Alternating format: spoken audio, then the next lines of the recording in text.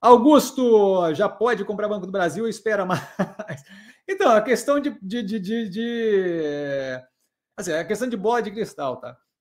Não tem como saber até onde o preço vai descer. Eu já acho estranho ter descido até o ponto que desceu agora. acho que essa queda durante o dia não faz muito sentido. Se você parar para avaliar o Banco do Brasil sendo usado como método de fazer populismo governamental, não é a primeira escolha. Eu comentei várias vezes isso aqui, certo? Então, assim, você tem a Caixa Econômica, que é fechada aqui, que eu consigo fazer agora menos com a Caixa Seguridade tendo capital aberto, mas em geral eu consigo fazer é, de uma forma mais tranquila, como governos, sem tanto olho incomodando ali. Tanto é que o, a pedalada da Dilma foi na Caixa Econômica, tá?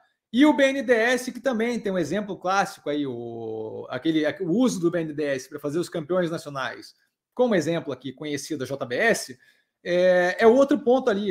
Se, se, se, eu faço aquilo ali através do Banco do Brasil, eu levanto, eu começo a levantar a curiosidade, levantar a orelha de quem está envolvido. É, o Banco do Brasil é obrigado a divulgar informação publicamente. Não demora muito tempo para aquilo ali virar um problema. Certo? O BNDES é uma caixinha fechada, Caixa Econômica é uma caixinha fechada. Certo? Então, assim, não, não, não, não vejo porquê, tendo a opção de vários outros bancos estatais que me ajudam a fazer aquilo de uma forma muito mais escondida, se é a minha intenção de fazer é, ingerência em instituição financeira do Estado, eu não vejo por que fazer pelo Banco do Brasil. Essa é a questão. A questão é a, é a lógica do incentivo ali.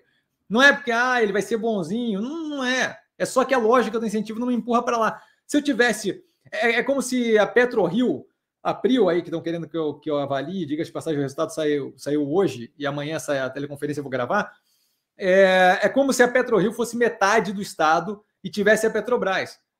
É, e a Petrobras fosse de capital fechado, como se a PetroRio fosse a empresa estatal fechada de petróleo e tivesse a Petrobras com capital meio aberto. Não tem porquê na Petrobras se a outra não tem que divulgar dado nenhum.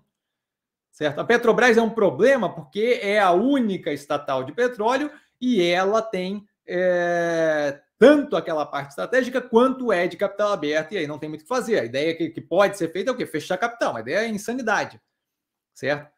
É, vai, vai, vai custar o olho da cara aquilo ali. Vai, vai ser um movimento incrível se tentarem fechar o capital daquilo ali. Diga-se de passagem, o Ciro queria, se não me engano, né? O Ciro que é, ia transformar o Brasil, o Brasil numa utopia mágica, incrível. Nárnia 2. É, Nárnia Tupiniquim. Mas assim, então assim, não, não vejo por que meter a mão no Banco do Brasil, dado que tem capital misto, se eu posso meter a mão na caixa e ter o mesmo efeito, BNDES tem o mesmo efeito. Financiamento, a... essa, essa é outra. Financiamento a, a outros países para obra meio estranha, em país que tinha ditadura e por aí vai, todo feito com BNDES, não foi? Então é esse ponto que eu não vejo, não vejo por que meter a mão no Banco do Brasil, então eu não estou preocupado. Se o preço tem mais a derreter ou não, aí tem que perguntar para o mercado, porque eles é que estão vendendo. Eu tô, estou tô comprado, estou tranquilo. Tá? É, não, não sei o quanto tem a ceder. Eu já não vejo sentido para a cedida que deu para cedida que deu hoje no preço. Cedida? É, cedida que deu hoje no preço. Tá?